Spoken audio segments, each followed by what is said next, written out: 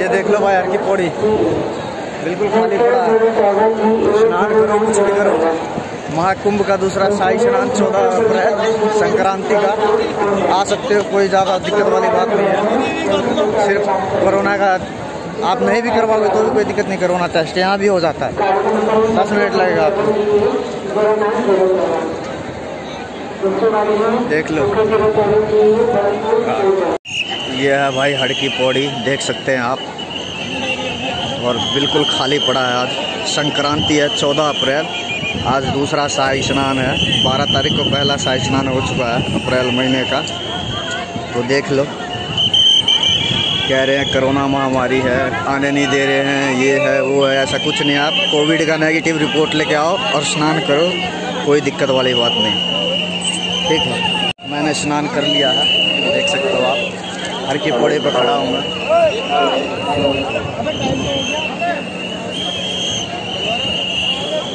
ये स्नान हो रहा है हर की पौड़ी पर देख लो आप ऐसा अद्भुत नज़ारा मैंने पहले कभी नहीं देखा। नहीं तो महाकुंभ में तो इतनी भीड़ होती है, लाखों करोड़ों के तादाद में लोग आते हैं, जो कि इस बार नहीं आए।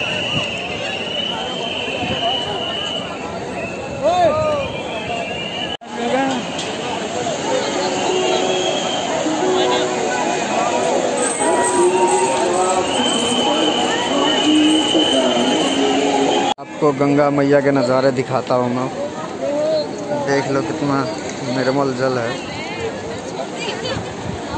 गोते लगा रहे हैं सब गंगा मैया में।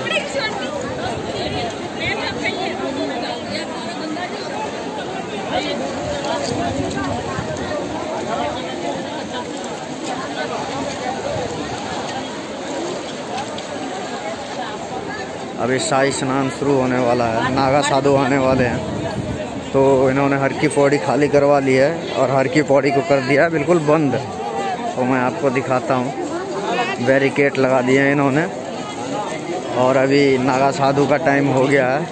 अब वो आने वाले हैं शाही स्नान के लिए। इससे पहले आठ बजे तक आम आदमी हर की पौड़ी पर नहा रहे थे। स्नान हो रहा था। आठ बजे के बाद इन्होंने खाली करवा दिया। चार बजे खुलेगा।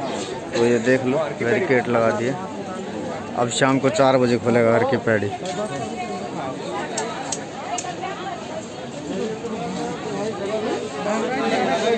ये सारा हर की पौड़ी खाली हो चुका है।